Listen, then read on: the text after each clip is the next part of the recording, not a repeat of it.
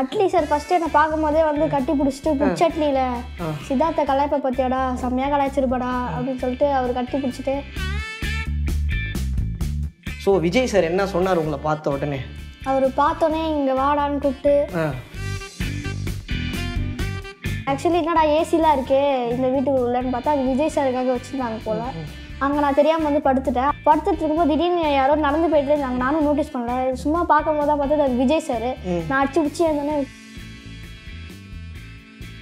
கரெக்டாக தான் பர்ச்சேஸ் பண்ணியிருக்கீங்க அப்படின்னு அட்லியை பார்த்து சொன்னார். அவர் எங்கள் எனக்கு எங்க எங்களுக்கு எக்ஸ்க்ளூசிவாக ஆதான் தமிழுக்காக. ஆடிஷனே வைக்கல உங்களுக்கு. பார்த்தோன்னே ஃபிக்ஸ் பண்ணிடுங்க ஸ்ட்ரெயிட்டாக செலெக்ஷன் அவரை கலாய்க்கிறதுக்கு அவரே சொல்லி கொடுப்பாரா? சூப்பர் சூப்பர் அந்த கவுண்டர் ஸ்கிரிப்டை தாண்டி அவரே சொல்லுவார். ஓ ஜெயம் ரவி சார் அவர் இவன் சித்தார்த்த கலாய்ப்பேன்டா அவன்டா இவன்?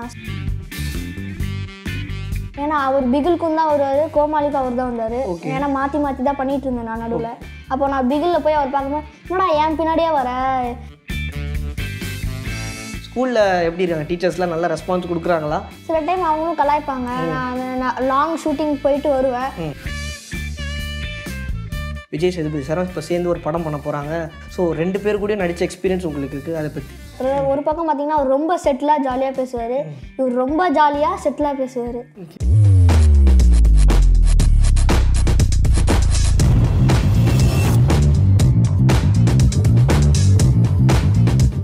ஆதான் தமிழ் வியூவர்ஸ் அனைவருக்கும் ஒரு மிகப்பெரிய வணக்கம். எஸ் இப்போ நான் எங்கே இருக்கிறேன் அப்படின்னு பார்த்தீங்கன்னா எங்கள் ஆஃபீஸில் தான் இருக்கிறேன். ஒரு சூப்பரான ஒரு கெஸ்ட்டை தான் இன்றைக்கி வந்து நான் இன்டர்வியூ பண்ண போகிறேன்னு கூட சொல்லலாம். அவரை ப அவரை பற்றி சொல்லணும்னு வச்சுக்கோங்களேன். ஹீஸ் வந்து ரீசெண்டாக பார்த்தீங்கன்னா வந்து நிறைய சைல்டு ஆர்டிஸ்ட் பார்த்துருப்பீங்க அதுலேயே வந்து ரீசெண்டாக வந்து ரொம்ப ஃபார்மான ஒரு ஆர்டிஸ்ட் கூட சொல்லலாம். முக்கியமாக யூடியூப் பிளாட்ஃபார்மில் நீங்கள் வந்து இவரை வந்து அப்படியே ஸ்க்ரால் பண்ணும்போதெல்லாம் பார்த்தது உண்டு. எஸ் மிஸ்டர் ஜூனியர் நித்யராஜ் அவர்கள் தான் நம்ம கூட இருக்காரு. ஹாய் ஹாய் ப்ரோ எப்படி இருக்கீங்க? நல்லா இருக்கு நீங்கள் எப்படி இருக்கீங்க? நான் நல்லா இருக்கேன். ஸோ நிறைய கொஸ்டின்ஸ்லாம் நான் எடுத்து வச்சிருக்கேன் உங்களுக்கு. வரும்போதெல்லாம் நித்யராஜ் என்ன பண்ணார் உங்கள் வீடியோஸ்லாம் பார்த்துட்டு இருந்தேன் ப்ரோ ஆனால் நீங்கள் எப்படி ப்ரோ ரொம்ப சட்டிலாக ரொம்ப சைலண்ட்டாக இருக்கீங்க? ஆனால் வீடியோவில் பூந்து விளையாடுறீங்களா? அது எப்படி? அது செட்டில் அப்படி இருக்கு. செட்டில் அப்படி. ஸ்கிரிப்ட் கொடுத்தோன்னே கலாச்சிருவீங்க யாராக இருந்தாலும். கண்டிப்பாக ஓகே ஓகே ரீசெண்டாக பார்த்தீங்கன்னா வந்து நீங்கள் பிகில் படத்தில் நடித்ததா வந்து சொல்லிட்டு இருக்காங்க ஸோ அந்த அது அதை பற்றி தான் கேட்கணும்னு சொல்லிட்டு என் மனசில் ஓடிக்கிட்டே இருந்தது. ஃபஸ்ட்டு விஜய் சாரை பற்றி கேட்கணும் ரெண்டாவது அட்லி சாரை பற்றி கேட்கணும் அப்படின்னு சொல்லிட்டு தான் நான் வந்து ரெடியாக இருக்கிறேன். ஸோ விஜய் சார் என்ன சொன்னார் உங்களை பார்த்த உடனே? அவர் பார்த்தோன்னே இங்கே வாடான்னு கூப்பிட்டு ஜாலியாக பேசினாரு.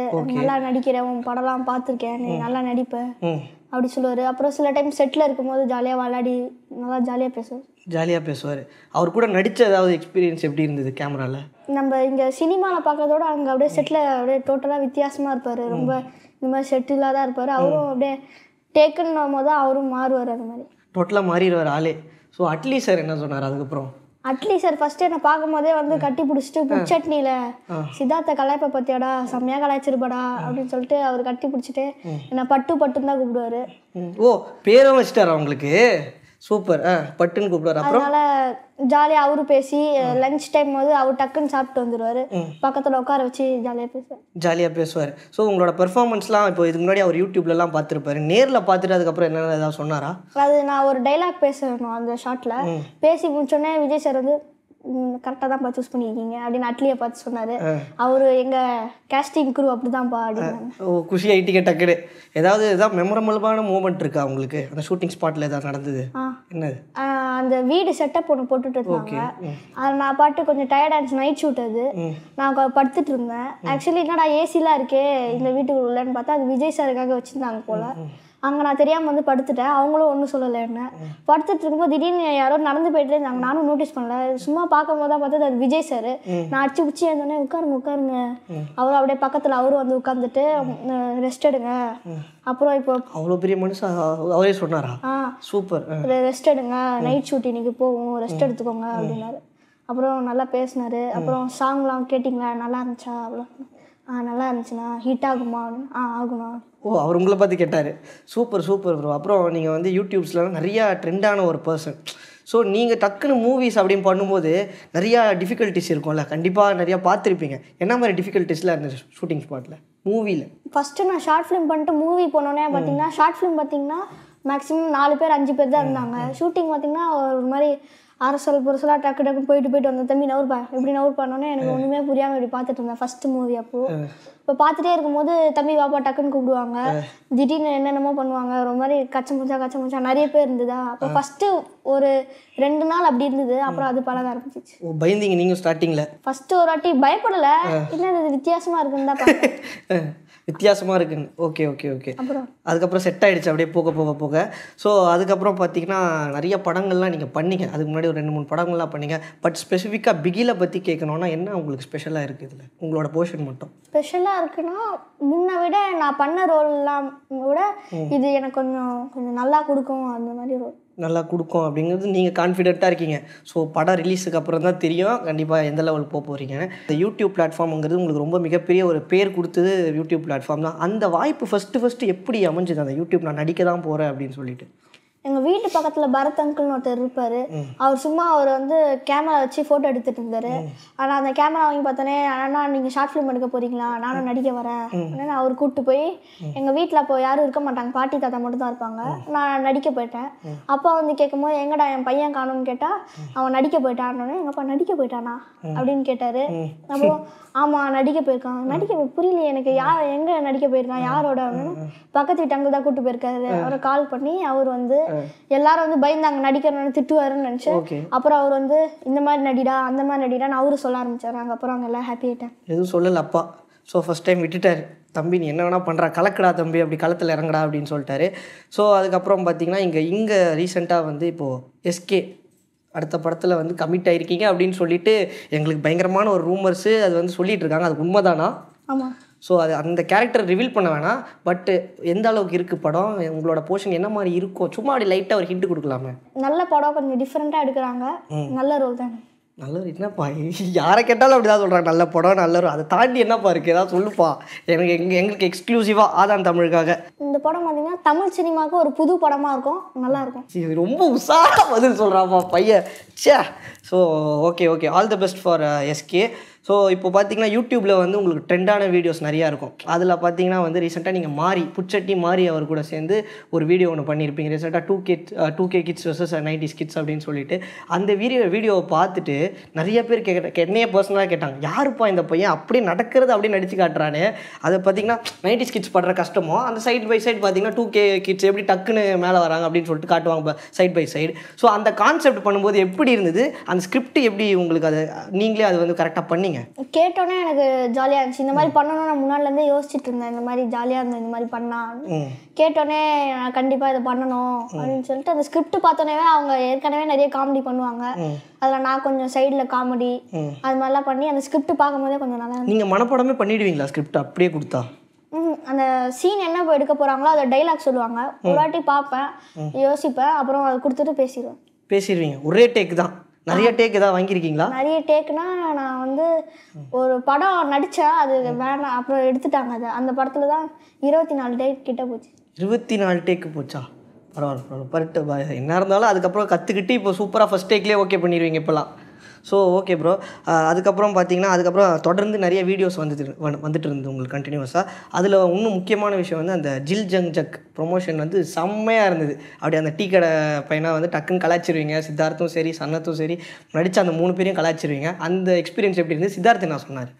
அப்போது அதான் என்னோட ஃபஸ்ட்டு வந்து இந்த மாதிரி செலிபிரிட்டிஸோட பண்ணுற வீடியோ அப்போ வந்து எனக்கு ஃபஸ்ட்டு கேட்கும் போது பயமா இருந்துச்சு. ஐயோ செலிபி இவர் டிவியில் நடிப்பார் இவர் கூட நடிக்க போகிறோமா நம்ம? அப்படிலாம் இருந்தது. அப்புறம் எங்கள் அக்காவும் நானும் கூட வரேன். எனக்கு அவரை பார்க்கணும் அப்படின்னு வந்துடுவாங்க நான் வந்து அவர் நான் மார்னிங்கே போயிட்டேன். அவர் வரவே இல்லை. சித்தார்த் சார் எப்போ வருவார்? அவர் எப்போ வருவார்? எப்போ வருவார்னு கேட்டுனே இருந்தேன். ஏய் வருவாரா? நாங்களே இவ்வளோ டென்ஷன் ஆகும் நீ ஏன்டா இவ்வளோ டென்ஷன் ஆகிறேன்னு கேட்டிருந்தாங்க. அப்புறம் இதோ வந்துருவார் இதோ வந்துருவாருன்னே நான் டூ ஓ கிளாக் கிட்ட அவர் எப்போ வருவாருன்னு கேட்டோன்னே பின்னாடி கை விஷயம் வந்துட்டேன்டா என்னடா விஷயம்? அப்படின்னு கேட்டாரு.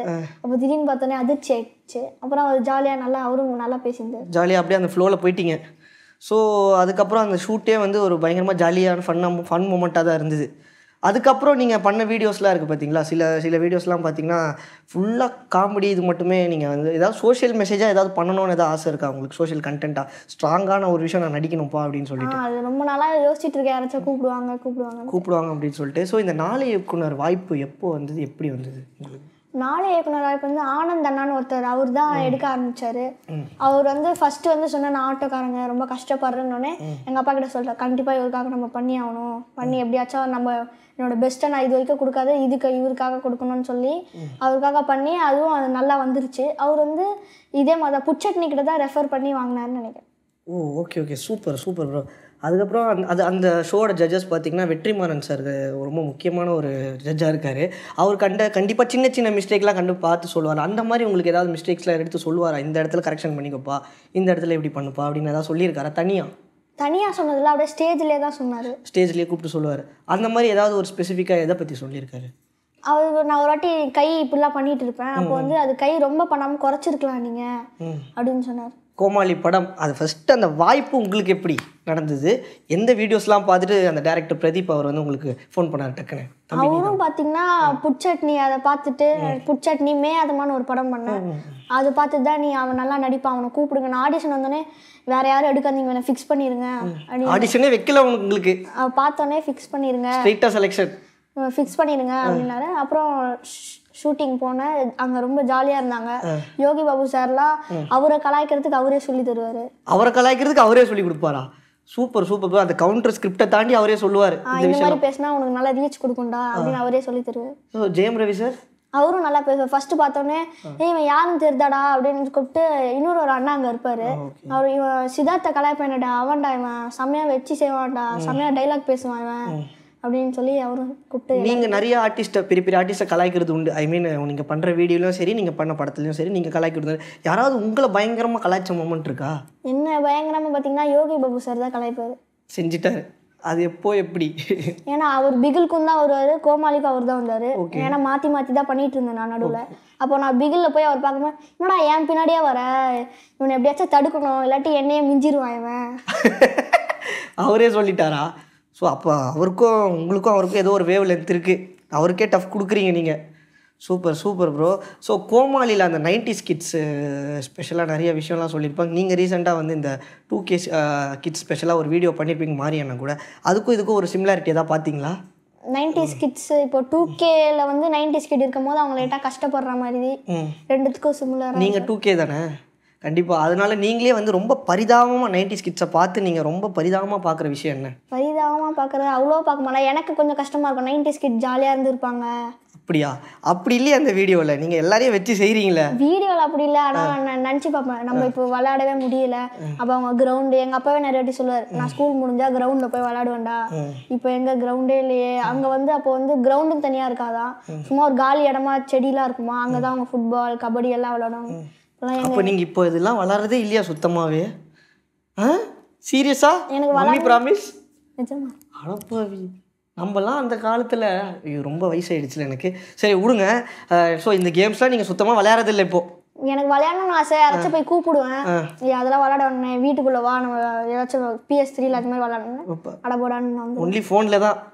ஸோ ஓகே ஓகே பிரதர் ஸ்கூலில் நீங்கள் இப்போ போய் கண்டிப்பாக வந்து இப்போ நீங்கள் என்ன ஸ்டாண்டர்ட் படிக்கிறீங்க? டென்த் டென்த்து படிக்கிறீங்களா? பப்ளிக் எக்ஸாமா ஸோ இது ரெண்டுத்தையும் எப்படி பேலன்ஸ் பண்ணுறீங்க எஜுகேஷனையும் உங்களோட என்டர்டெயின்மெண்ட்டையும் கஷ்டமாக தான் இருக்குது ஸ்கூலில் எப்படி இருக்காங்க? டீச்சர்ஸ்லாம் நல்லா ரெஸ்பான்ஸ் கொடுக்குறாங்களா? சில டைம் அவங்களும் கலாய்ப்பாங்க. நான் லாங் ஷூட்டிங் போயிட்டு வருவேன். யார் இப்போ இந்த மினி அட்மிஷனா முடிய போது பாண்டுருவாங்க அப்படி அவங்களே கலாய்ப்பாங்க. ஃப்ரெண்ட்ஸ் எல்லாம் என்ன சொல்கிறாங்க சுற்றி இருக்கிற வீட்டாண்ட இருக்கிற நேபர்ஸ் ஃப்ரெண்ட்ஸு தம்பி நீ படத்தில் கரெக்டாக பண்ணுப்பா அப்படின்னு சொல்கிறாங்களா தயவு செஞ்சு ஸ்கூலுக்கு போய் படிடா அப்படின்னு சொல்கிறாங்களா நான் வந்து ஸ்கூல்லேயும் ஜாலியாக எல்லாரையும் கலாய்ச்சிட்டு தான் இருப்பேன் ஏன்டா ஷூட்டிங் போகிற இங்கே வந்து அட்லீஸ்ட் எல்லாரும் கலாய்டா போர் அடிக்குதுடா அப்படின்வாங்க அப்புறம் எங்கேயாச்சும் வெளியே கூப்பிடுவாங்க. நான் போக மாட்டேன் ஷூட்டிங் இருக்குன்னு நீ ஷூட்டிங்லேயே இருடா ஸ்கூலுக்கு வராத எங்கேயும் வராத அங்கேயே இருங்குவாங்க அந்த மாதிரி சில டைம் அவங்களும் கலாய்ப்பாங்க டென்ஷன் ஆயிடுவாங்க டென்ஷன் ஆயிடுவாங்க. நீங்கள் திருப்பி கலாய்க்க மாட்டீங்க. கலாய்ப்பேன். சரி அந்த டைமில் கலாய்ச்சா பிரச்சனை ஆயிரும். அப்படிங்கிறீங்களா? சரி ஓகே ஃபைன் ஓகே ஃபைன் இப்போ ரீசெண்டாக நீங்கள் ஏதோ சூப்பர் டீலக்ஸ் படத்தில் வந்து ஒரு முக்கியமான கேரக்டர் பண்ண வேண்டியது அது லைட்டாக ஏதோ மிஸ் ஆயிடுச்சு அப்படின்னு சொல்கிறாங்க அது என்ன கேரக்டர் அது என்ன மாதிரி ஆக்சுவலி அதில் தான் அந்த டுவெண்ட்டி ஃபோர் டேக் போச்சு. அதில் தான் டுவெண்ட்டி ஃபோர் டேக் போச்சு. அது என்ன கேரக்டர் அது வந்து விஜய் சேதுபதி சாரோட பையனா நடிக்க வேண்டியதுதான் நான். ஓ ஆ ஆ யஷ்வந்த் பண்ணேன் ஓகே. அது ஃபர்ஸ்ட் நான் நடிக்கும் போது அவர் ஜாலியாக பேசிட்டு இருந்தாரு. அவர் அந்த டேரக்டர் சார் எல்லாருமே ஜாலியாக பேசுவார். அது எதுக்கு அந்த இருபத்தி நாலு டேக் போச்சுன்னா நான் இப்படி ஓடி வந்து கதவு திறப்பேன். அப்போ நான் கால் இப்படி கிராஸாக வச்சுட்டு ஓட்டுறதுக்குலாம் ஒரு ரீடேக் எடுப்பார். அது மாதிரி உன்னிப்பாக கவனிப்பார். அந்த அளவுக்கு மைன்யூட்டாக டீட்டெயிலாக இருப்பேன் ஸோ விஜய் சேதுபதி சார் கூட நீங்கள் வந்து ஸ்க்ரீ ஸ்க்ரீன் ஸ்பேஸ் வச்சு நடிச்சிட்டீங்க. அவர் கூட எப்படி இருக்கு ப்ரோ அவர் ரொம்ப ரொம்ப சட்டிலாக இருப்பாரா? இல்லை ஷூட்டிங் ஸ்பாட்டில் எப்படிப்பட்ட கேரக்டர் அவர்? ஏன்னா நீங்கள் விஜய் சார் இப்போ ரீசெண்டாக ஆல்ரெடி அனௌன்ஸ் பண்ணிட்டாங்க. விஜய் சாரும் விஜய் சேதுபதி சாரும் இப்போ சேர்ந்து ஒரு படம் பண்ண போகிறாங்க அப்படின்னு சொல்லிட்டு கன்ஃபார்ம் ஆயிடுச்சு. ஸோ ரெண்டு பேர் கூட நடித்த எக்ஸ்பீரியன்ஸ் உங்களுக்கு இருக்குது அதை பற்றி ரெண்டு பேருமே ரொம்ப நல்ல கேரக்டர் ஒரு பக்கம் பார்த்தீங்கன்னா அவர் ரொம்ப செட்டிலாக ஜாலியாக பேசுவார். இவர் ரொம்ப ஜாலியாக செட்டிலாக பேசுவார். பையன். ஏய் அடடே பயங்கரமாக பூந்து விளையாடுறாரு. ஸ்பாட்லலாம் எப்படி யோசிச்சான்னு தெரியல. ஸோ இவ்வளோ நேரம் உங்களோட ப்ரெஷஸ் டைம் வந்து எங்களுக்கு ஸ்பெண்ட் பண்ணது ரொம்ப ரொம்ப தேங்க்யூ தேங்க்யூ நித்யராஜ் அவர்களே. ஸோ அடுத்ததாக என்னென்ன படங்கள்லாம் வந்து உங்களுக்கு லைன் அப்பில் இருக்குது இப்படி? ஹீரோ ஒன்று பண்ணிட்டு இருக்கேன் அப்புறம் ஸ்ரீ கார்த்திக் சார்னு ஒருத்தர் இப்போ புது டைரக்டர் அவர் ஒன்று டிஃப்ரெண்ட்டாக ஒன்று எடுக்க ட்ரை பண்ணுறாரு படம் டைட்டில் இன்னும் ஃபைனலைஸ் ஆகல. ஆனால் கண்டிப்பாக அது தெலுங்கு தமிழ் ரெண்டுத்தில் எடுக்கிறாங்க. கண்டிப்பாக அது ரொம்ப நல்ல படமா? ஸோ நித்யராஜ் வந்து தெலுங்கு இண்டஸ்ட்ரியிலையும் கால் எடுத்து வைக்க போகிறாரு கன்ஃபார்ம் ஆயிடுச்சா? எங்களுக்கு கண்டென்ட் கிடச்சிருச்சு டைட்டில் போடுறதுக்கு கிடச்சிருச்சு. கரெக்டாக அதுக்கப்புறம் மலையாளம் வேற என்ன வேற என்ன இங்கிலீஷ் ஹாலிவுட் அந்த மாதிரி ஆசைகள்? அது அப்புறமா பார்த்து அதுக்கப்புறமா பார்த்துக்கலாம் அப்படிங்கிறாரு. So super super Nithyaraj thank you so much இவ்வளோ நேரம் உங்களோட டைம் வந்து ஸ்பெண்ட் பண்ணதுக்கு thank you so much okay viewers இவ்வளோ நேரம் நித்யராஜ் அவர்கள் வந்து நம்ம கூட அவரோட கோமாளி எஸ்கே அடுத்த படம் ஹீரோ அதுக்கப்புறம் பிகில் இந்த படத்தில் நடிச்ச எக்ஸ்பீரியன்ஸ்லாம் நம்ம கூட ஷேர் பண்ணிக்கிட்டாரு. ஸோ இதே மாதிரி அடுத்த எபிசோடில் நான் உங்களை வந்து மீட் பண்ணுறேன் until then it's me Maxi signing off tata bye bye see you நன்றி வணக்கம்.